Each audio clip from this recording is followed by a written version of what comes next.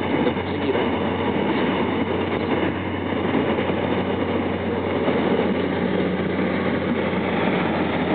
그몇 냥이야? 아. 정치겠네.